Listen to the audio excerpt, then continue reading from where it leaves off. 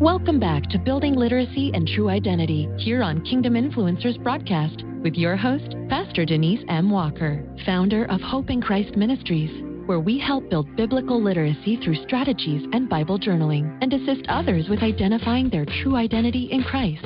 Let's begin.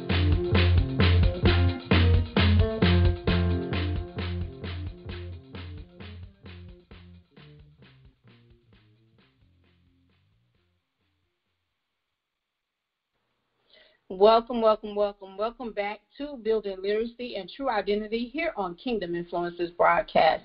I am your host, Pastor Denise M. Walker, and I am the founder of Hope in Christ Ministries, the instructor and the builder of literacy, and helping others to find your true identity in Christ Jesus alone. Thank you all for joining me today. And today we're going to continue in Genesis. We've been in Genesis for some time, but Genesis is a very long book, and it is the foundational book. So we're gonna um, we're almost done with Genesis, but we're in chapter 46 through 47, and we're going to talk about Jacob or Israel's life once again. Let us pray.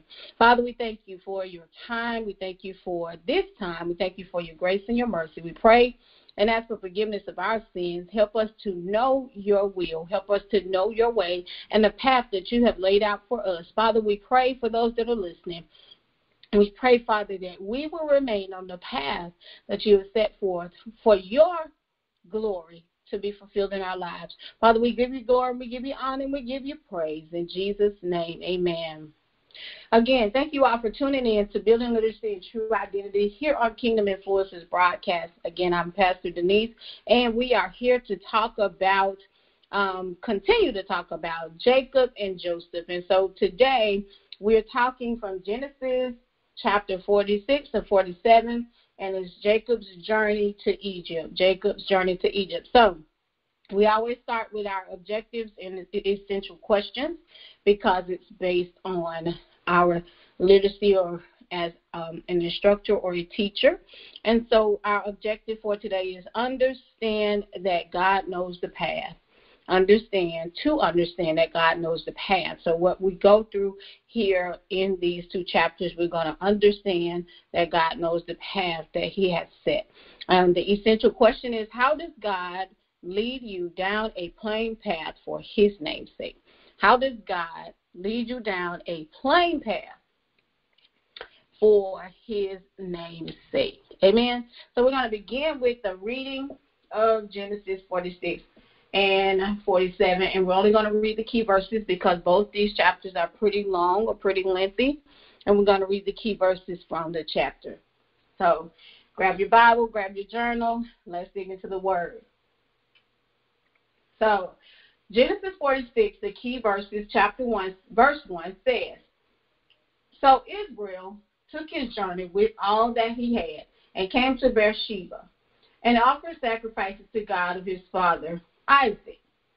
Then God spoke to Israel in the visions of the night and said, Jacob, Jacob. And he said, Here I am. So he said, I am God, the God of your father. Do not fear to go down to Egypt, for I will make of you a great nation there. I will go down with you to Egypt, and I will also surely bring you up again. And Joseph will put his hand on your eyes. Verse 5 then Jacob arose from Beersheba, and the sons of Israel carried their father Jacob, their little ones, and their wives in the carts which Pharaoh had sent to sent to carry him. So they took their livestock and their goods, which they had acquired in the land of Canaan, and went to Egypt. Jacob and all his descendants with him, his sons and his sons' sons, his daughters and his sons' and his sons' daughters, and all his descendants he brought with him to Egypt. Amen. And the last verse in chapter 46, which is important because it talks about the lineage, the other verses talk about the lineage and all of the people that are coming with Jacob. And the last verse here says, All the persons of the house of Jacob who went to Egypt were 70. Amen. So then we go down into um, verse 28. Then he sent Judah before him to Joseph to point out before him the way to Goshen. And they came to the land of Goshen. So Joseph made ready his chariot and went up to Goshen to meet his father Israel. And he presented himself to him and fell on his neck and wept on his neck a good while. And Israel said to Joseph, Now let me die, since I have seen your face, because you are still alive. All right, so we're going to jump down to chapter 47, chapter verse 1. Then Joseph went and told Pharaoh and said, My father and my brothers, their lives, their flocks, and their herds, and all that they possess have come from the land of Canaan, and indeed they are in the land of Goshen. Let's jump down to verse 3. And they said to Pharaoh, Your servants are shepherds, both we and also our fathers. And they said to Pharaoh, We have come to dwell in the land because their servant, your servants, have no pasture for their flocks, for the famine is severe in the land of Canaan. Now, therefore, please let your servants dwell in the land of Goshen. Then Pharaoh spoke to Joseph, saying, Your father and your brothers have come to you. The land of Egypt is before you. Have your father and brothers dwell in the best of the land. Let them dwell in the land of Goshen.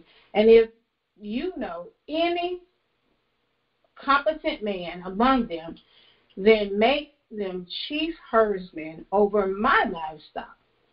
Then Joseph brought to his father Jacob and set him before Pharaoh. And Jacob blessed Pharaoh. Pharaoh said to Jacob, How old are you? And Jacob said to Pharaoh, The days of the years of my pilgrimage are 130 years. So then Jacob blessed Pharaoh and went out from before Pharaoh. And Joseph situated his father and his brothers and gave them a possession in the land of Egypt, in the best of the land, in the land of Ramses, as Pharaoh had commanded. Then Joseph provided his father, his brothers, and all his father's household with bread according to the number in their families. And then Joseph has to deal with the famine as well as his family members.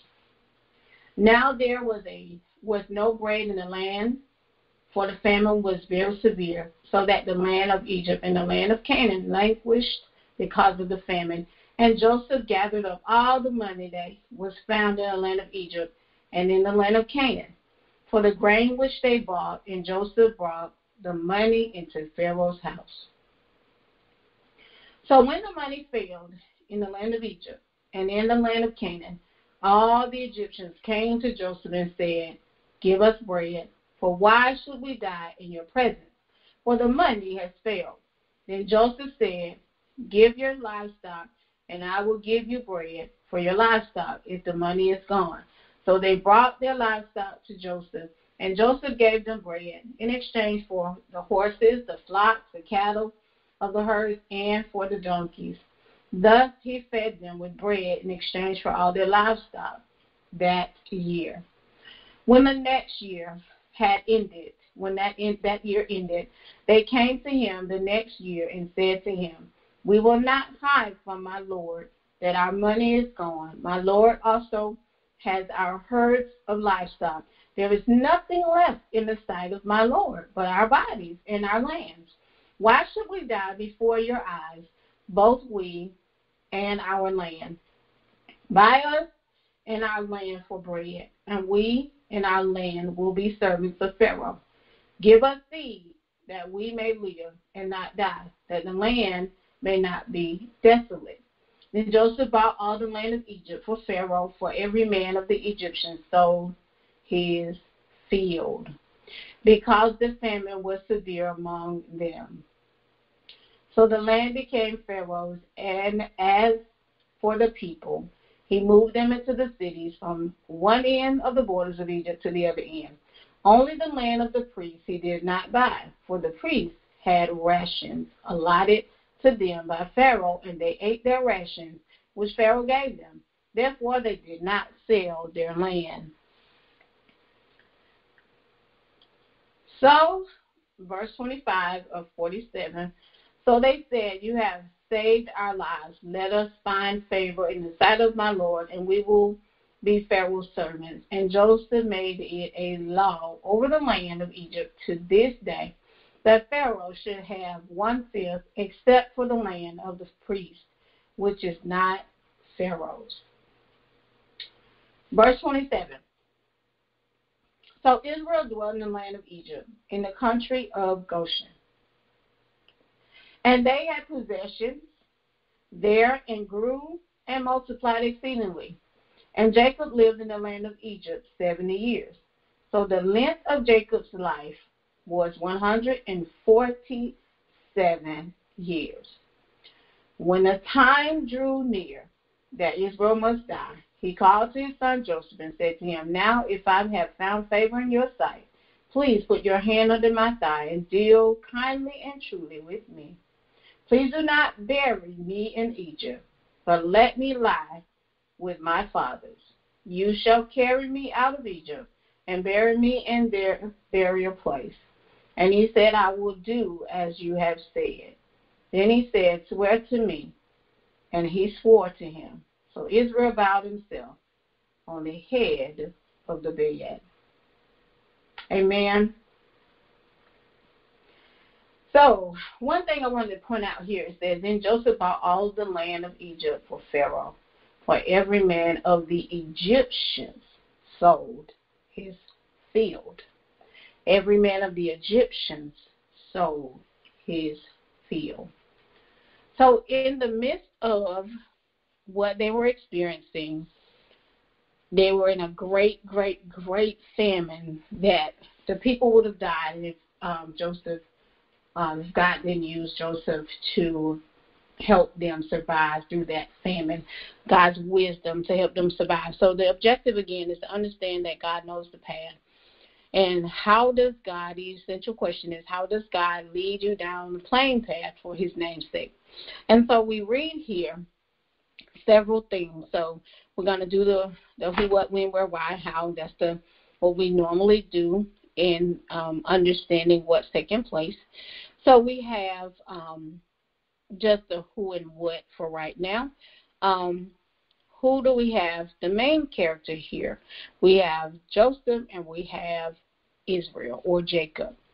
Um, and in what's taking place, um, he took all of his um, belongings and his family to um, Beersheba, and he offered sacrifices and he prayed. He was um, basically concerned because God said to him in a vision, um, "Do not fear to go down to Egypt, for I will make you a great nation there." So he was he had some concerns. He he didn't want to go. He wanted to see his son. He wanted to see his son Joseph and he wanted to be with his son, but he had some reserve about it. So God spoke to him and he said he won't remain there. Joseph um, will put his hand on your eyes. So he, God was telling him that he would die in the land of Egypt, but God would send Joseph to bring him out of Egypt. And then the sons carried their father and their little ones and their wives on to Egypt. Amen. To the land of Goshen. They left Canaan um, the promised land. And we noticed they were in Canaan and they left the promised land. They left the promised land. Get that in your spirit. Um, where God had promised He would give them a land. He would give them a land. God didn't promise them Egypt, but God told him, Go, don't be afraid. Don't be afraid. Go ahead and go because the famine was so great. You know, sometimes God just allows things to take place, and that's what was taking place in the earth at the time. So He was saving their lives, and He was going to bring them back to the promise, and um, to live in Egypt for a time. So they were supposed to go to live there for a time. Seventy persons in all went with Jacob, his lineage. Um, he sent Judah before them to go get Joseph and bring him to meet his father so that he could point the way to Goshen. Joseph came to meet them, and he was reunited with his father, and he wept for quite a while um, in the, the the reunion there, which was an awesome, awesome part of the journey. They dwelt in Goshen because the shepherds were an abomination to the Egyptians. So that was for, uh, chapter 46. And then in 47, um, Pharaoh gave them instructions and, and favor, actually. He said, Have them dwell in the best of the land of Goshen.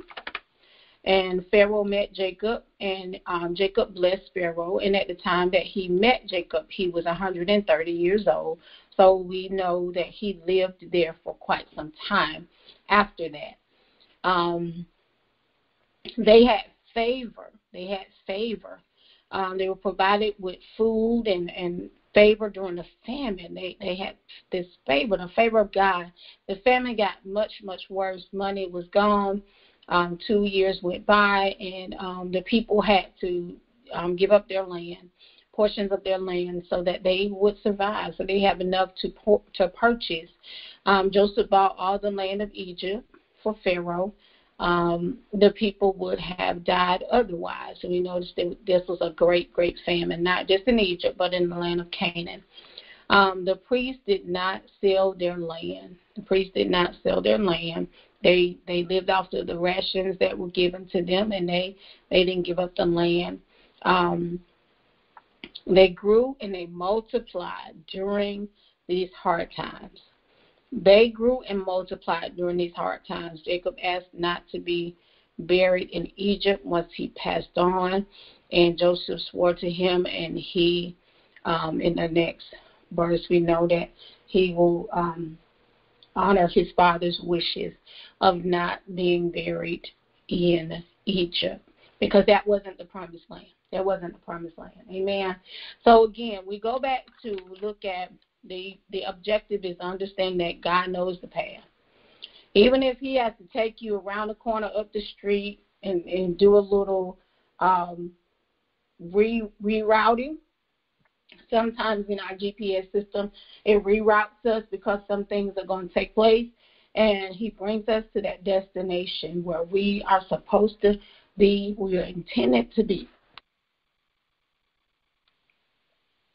So, the essential question again is how does God lead you down a plain path for his name's sake? So we're going to talk about how he led Jacob, Israel, down the plain path for his name's sake. So again, we see the reluctance of Israel or Jacob. He knew that God promised Abraham, he promised Isaac, and he was promising him that he would um, make a great nation. And so we notice that he did just that. He began making that nation in the times of struggle in Egypt. And we know in the further scriptures that he brings them out. He brings them out back to the promised land. He multiplies them and he brings them out. So let's talk about the path. So we're talking about how does God lead you? How does God lead you down the plain path for His name's sake? So we have um, each letter for path represents a question. So the, the P is what was God's purpose for Israel? What was God's purpose for Israel? Well, God's purpose for Israel was for him, one, to survive, for him to live, and for him to become a great nation, the foundational nation that Christ came through the nation of Israel. And so he that was his purpose. His purpose. And he had God is not a man that he should lie, nor the son of man that he should repent. So God knew that wait a minute, if they stay here for right now, they're gonna die in this land. And that's not my purpose. That's not my plan. My plan is that he lives that he lived, the generation lives on. So if he didn't take them down to Egypt for everybody to survive, God, there was God's pathway so that the nation, the generations would continue, would continue on. And so that was his purpose. And then the AM path, what alternative route could um, Jacob or Israel have taken? Well, he could have said, I'm no, I'm not going down there. Lord, I'm not. I just it, it's a famine here and it's a famine there. We are we are all in a famine. He could have said, I'm not. I'm not going. He could have taken that alternative route. He could have said, I'm not going. He could have not obeyed God, and the situation would have been a whole lot different because he did have a free will. And we are born with a free will. And so we have to remember that.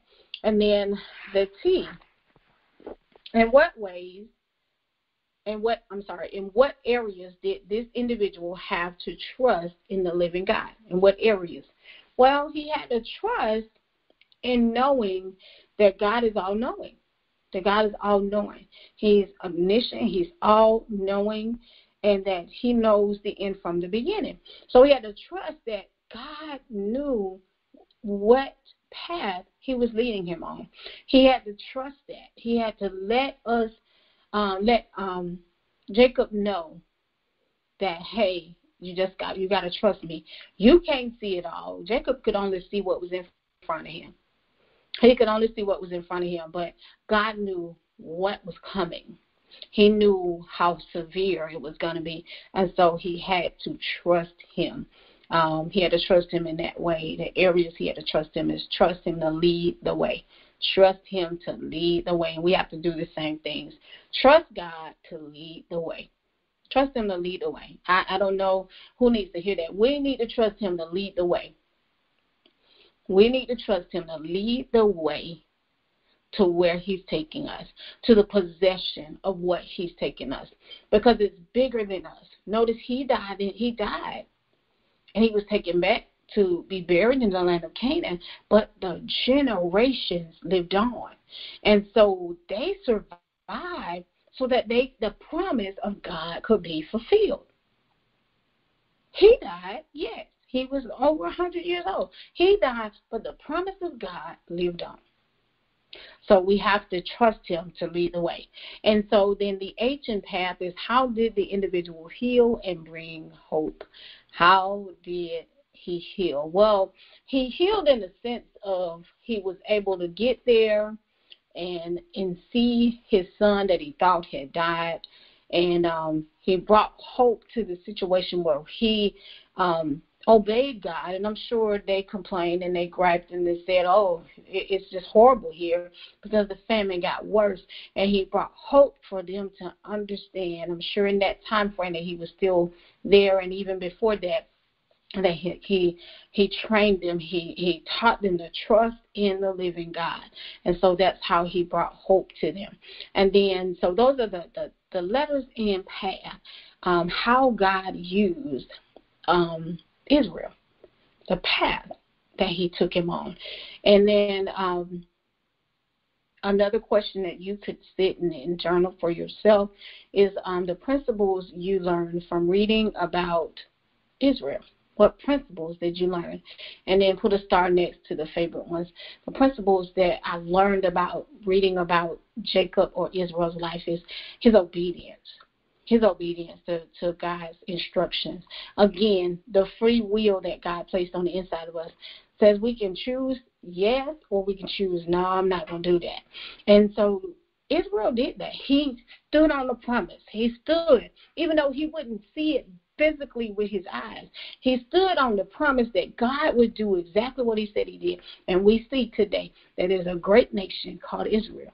And we see that we are we are part of that lineage. Why? Because Christ is our Lord. And so we we can all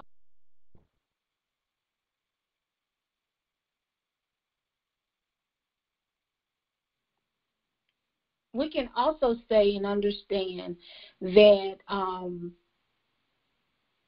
it's bigger than us. It's bigger than us. What God is doing in our lives, what He's trying to get us to line up with, and on the path that He's trying to line us on, is bigger than us.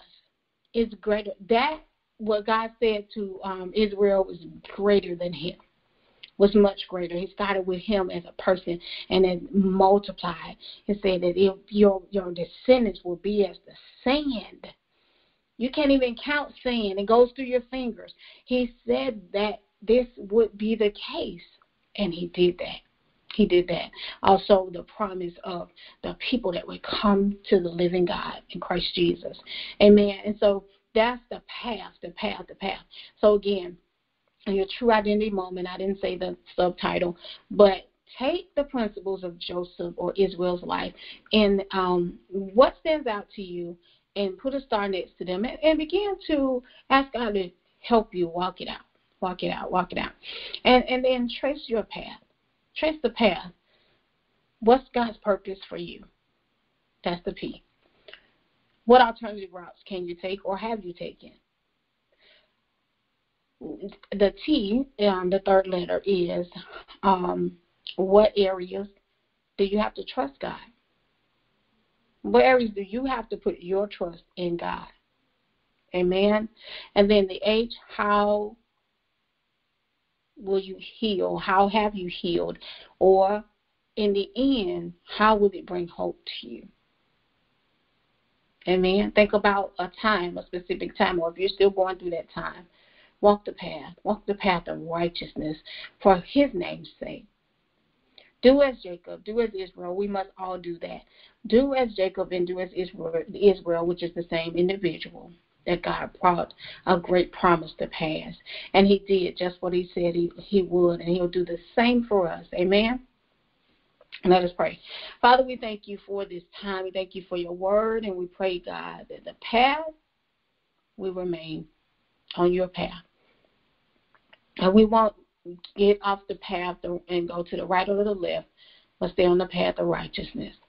Stay on the path of promise, the path of purpose, of where you placed us, Father. I pray that those that are listening, that each and every one of us would obey you above anything else, above our own voices and our own fears and our own limitations. Father, we bless you and we magnify you.